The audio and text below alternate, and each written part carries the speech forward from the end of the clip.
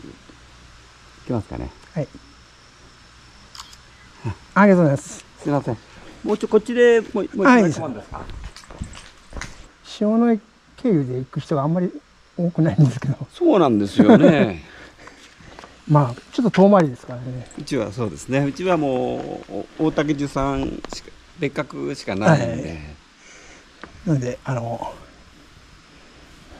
ひ讃岐温泉の方から行く人が多いんですけど、うん。ああと、つわものあの、こ、なんですか、ことなに？なんか、あの、山の中のうん。3時間ぐらいでの登るで、ハードなとこ行く人もあで日帰りする人もいるから。まあお気をつけて、はい、ありがとうございます。大丈夫です？今日はもう、はい、5, 5キロぐらいなんで、ゆ ゆっくり行きます。連絡しておきましょうか？あ、大丈夫です、大丈夫です。はい、はいありがとうございます。はい、失礼します。あ、飲み物ありがとうございましあいやいやいやいややっぱり飲むのが一番いいみたいでそうですね健康飲料がい。ありがとうございます。おはようございます。自撮り棒が折れたため、自撮りせずに喋ってます。今日は大滝寺諦め、えー、5キロ先の赤松旅館まで、もみじ屋さんから赤松旅館まで歩いて終わりにしたいと思います。もみじ屋さん、貸別荘、すごく良かった。いや、あそこですね。感謝です。はい。次回、大滝寺、リベンジするときに、また泊まりたいと思います。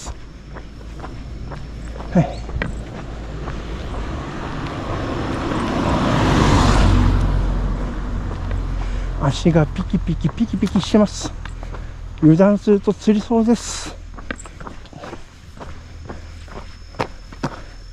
ゆっくり行きます。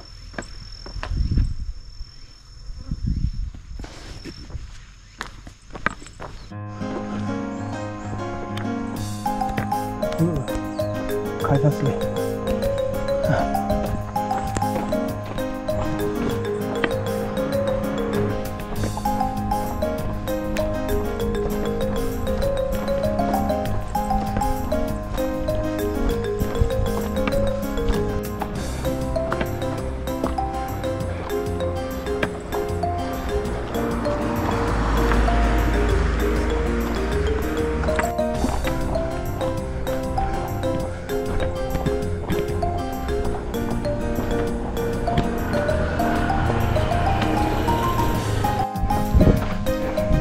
宿のご主人に、もみじのご主人に、熱中症を言ったら、いただきました。ありがとうございます。感謝です。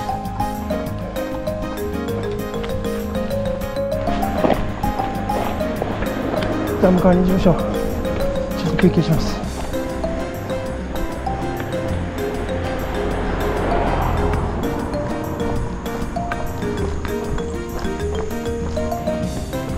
おだいぶ来たね。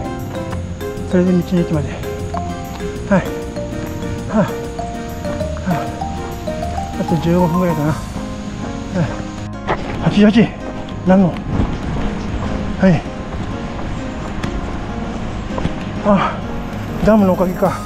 ちょっと涼しいぞ。はい。おお、放流見えた。すげえ。おほほほほ。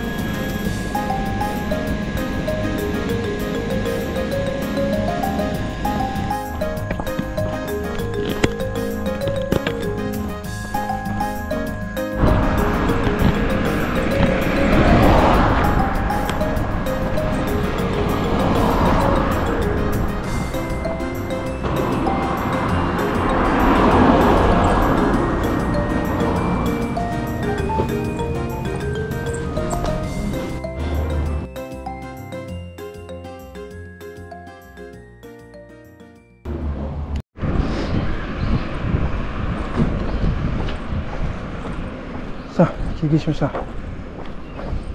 ちょっと早いですが宿で荷物を置いてほかしてもらって温泉入りに行きます。うん